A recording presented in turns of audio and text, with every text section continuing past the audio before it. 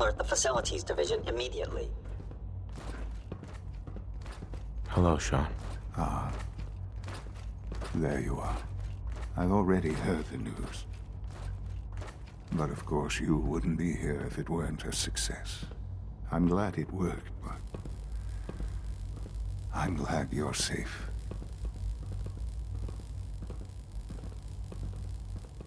It's all over. Ah. But it's really not. It's just beginning for you. The Institute is in your hands now. Lead them well. Allie has always been loyal to the Institute. And to me. You can rely on her for help. Once I'm gone, it's all up to you. I'll do my best. I know you will. Don't worry about me. You need to look ahead. Focus on the future. Our time together has been... strange, hasn't it?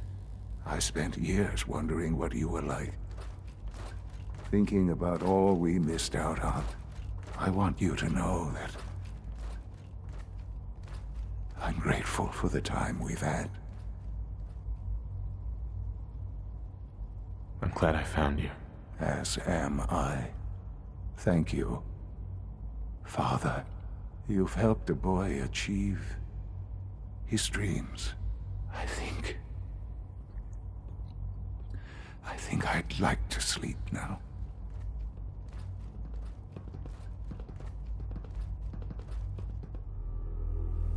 I've lost Shaun. All over again.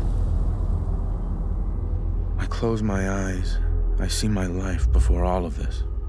Before the bombs. Everything can change in an instant. And the future you plan for yourself shifts, whether or not you're ready. At some point, it happens to all of us. This wasn't the world I wanted, but it was the one I found myself in. The Commonwealth.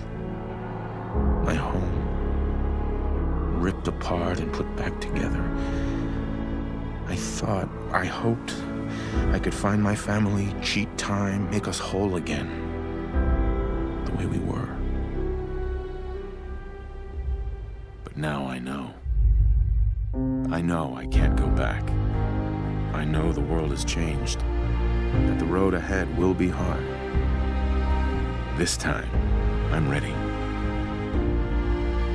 Because I know war. War never changes.